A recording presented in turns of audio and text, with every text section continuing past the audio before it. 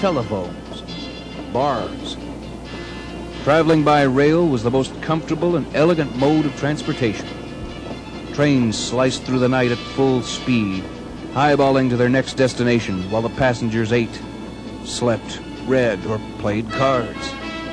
It was as if the state of Missouri was moving, not the train. The New York Central's famed 20th Century Limited looked beautiful and powerful even before the streamlined design was added by Henry Dreyfuss.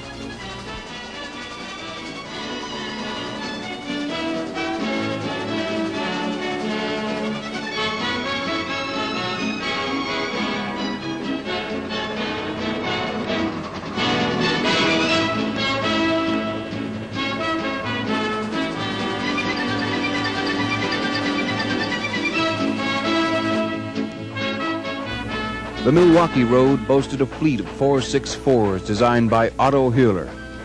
The streamlined Hiawatha, running from Chicago to the Twin Cities, was called the world's most popular train, running on the Milwaukee Road.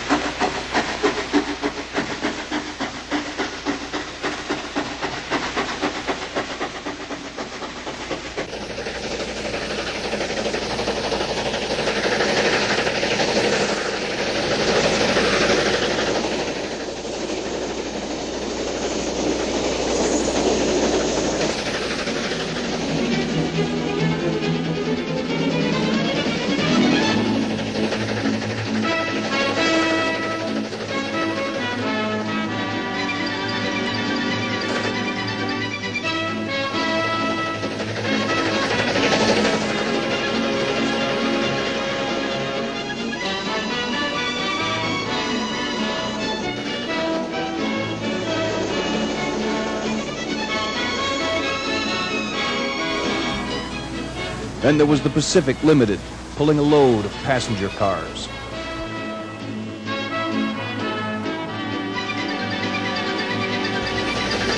Steam trains were still the universal method of transportation all over the world. In England, particularly, it was said you could set your watch to the whistle of the trains. Depots like Victoria Station became as famous as New York's Grand Central. English trains ran day and night to keep the island nation alive. The birthplace of America's first engines kept refining the art of steam. And as in America, the locos in Britain delivered everything, from mail to people to Jersey milk. Always a dramatic sight, the moving platforms and cars of a roaring steam engine often provided exciting backdrops for mysteries, like Agatha Christie's Murder on the Orient Express, Ian Fleming's From Russia with Love, the Sherlock Holmes stories.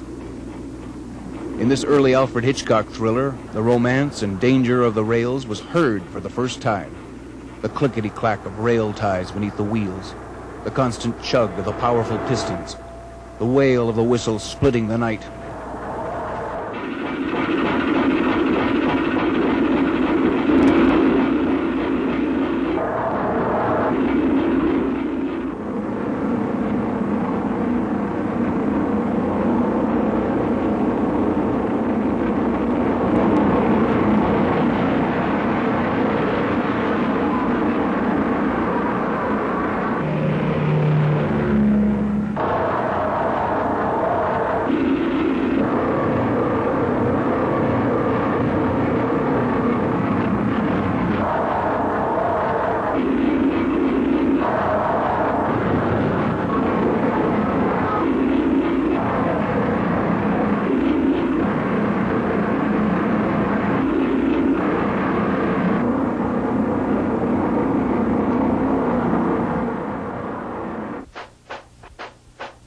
Britain's pride and joys were the Princess Coronation class engines, built in 1938. The massive boiler for this modern 462 engine, number 6207, had a grate area of 45 square feet and lots of tubing. As with most streamliners, the casing made daily maintenance more difficult when you had to get behind this teardrop-shaped metal shell.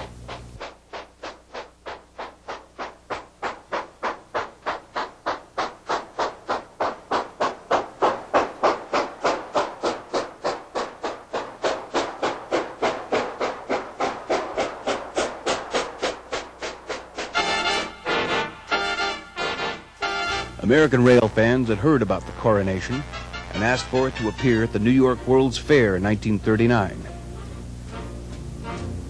What the British sent instead was the Duchess, an identical sister train, with a new nameplate that said Coronation. To pass American standards, a warning bell was fitted and a headlight.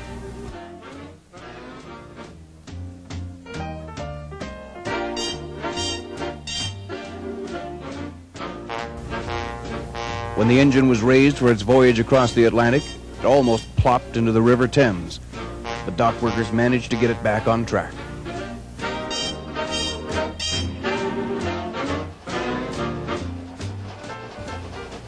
Whether Coronation Scott or Duchess, the engine toured America and looked fine. War broke out in 1939 and the engine remained in America, being seen by over 3 million people until it was shipped back to England in 1942 for the war effort. The celebration of trains at the New York World's Fair was a steam lover's dream. The New York Central's first streamliner, the J3A, was there, and Canadian National's equally impressive streamliner, built for the visit of the King of England to Canada.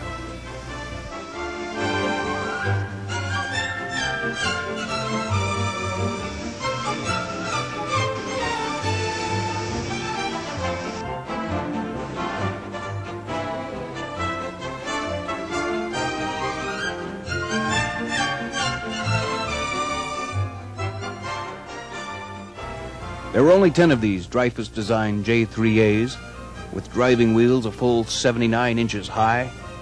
These locos were reserved for first class runs like the 20th Century Limited.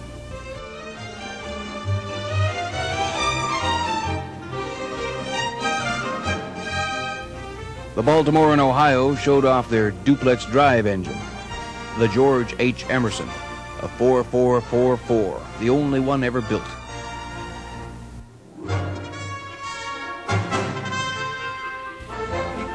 And Pennsy's pride and joy was this futuristic S1, a 6446, designed by Raymond Loewy, 140 feet long.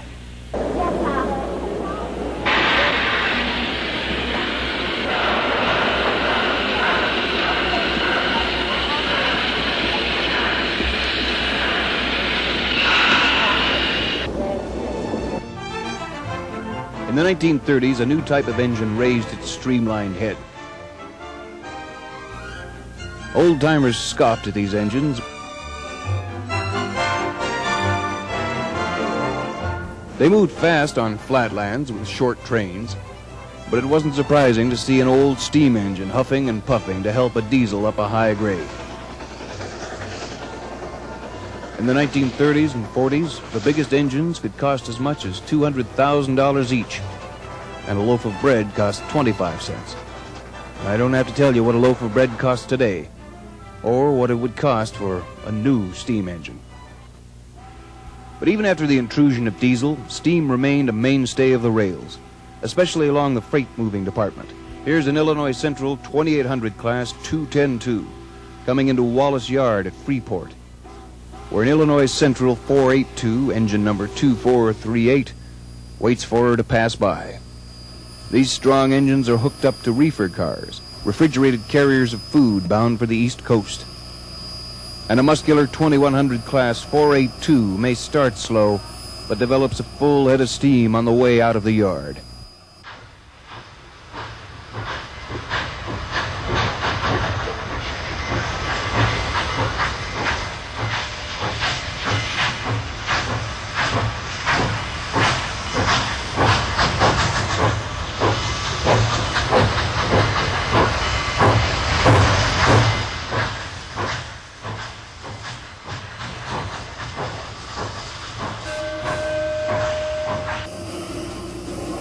Mountain railroads like the